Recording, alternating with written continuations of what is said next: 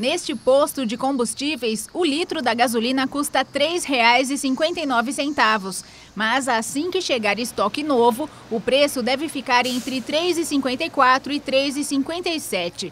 A redução será de apenas alguns centavos mesmo, de acordo com o dono do estabelecimento. O problema é que essa redução é muito pequena, vai refletir de 2 a 3 centavos na bomba, o que para quando subiu tanto como subiu anteriormente, é uma queda muito pouca de preço. O comerciante lembra que a gasolina brasileira é a que tem o maior percentual de álcool no mundo. Se não fosse isso, a redução do preço poderia ser um pouco maior. A gasolina é composta de 27,5% de álcool, álcool anidro.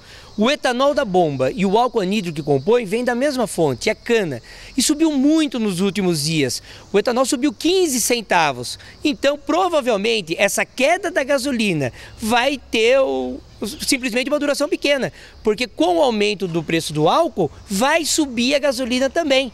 Para muitos consumidores que ainda não sentiram mudança no bolso, essa medida de redução do preço da gasolina parece insignificante. Eu acho que ainda falta muito para chegar num preço justo. Que hoje a gasolina ainda está bem cara, né?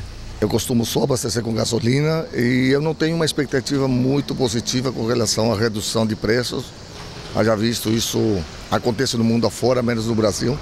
As pessoas mais otimistas se surpreendem positivamente com a queda no preço, ainda que pequena. É um início, graças a Deus, né? Pequenininho, mas já serve. 0,0 alguma coisa, mas é, é, é um começo.